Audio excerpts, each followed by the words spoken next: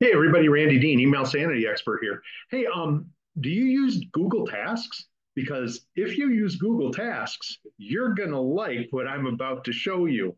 Uh, let's pop out here into the Google Calendar, actually. When we go into the Google Calendar, uh, something I wanted to show you here. Let's get back to today. Um, but it's not this today button I wanted to show you. It's this button right here. Look at that button. Switch to tasks.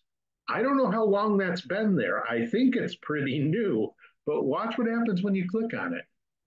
It says you're in your calendar, but it's bringing up Google Tasks. And look at this view.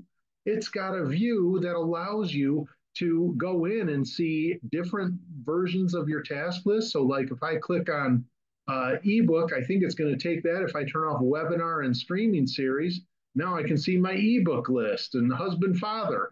And so what this allows you to do is if you're setting up multiple task lists, say task lists for projects, activities, events, like I do in my Google Tasks, I can now have task lists that I can see uh, next to each other on a single screen. They used to have a full page screen for Google Tasks a few years ago. For some reason, they uh, stopped supporting it and it just became the little side screen. But now we've got a really nice little uh, task tool manager that's available in your Google Calendar of all places. And so, and if you want to toggle back to Google Calendar, just click back here and you're back in your calendar. So I, I thought you'd like to see that. I was very excited and quite happy to see that. Um, all right, so uh, that's all I wanted to show you. I think it's just a really nice little thing. Uh, let's go ahead and get back in and finish this one up. Once again, I am Randy Dean, Email Sanity Guy.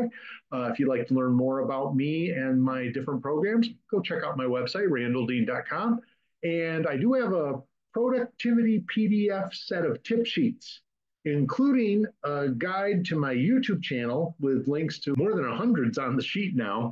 Uh, and if you'd like to get that, plus a couple other PDFs to help with your productivity, just uh, send me an email, randy at randalldean.com, and put YouTube PDF in the subject line. Of course, if you like this video, please like the video, subscribe to the channel, share this with others, and uh, have fun with your Google Tasks now on your computer because you got a great new view. Bye, everybody.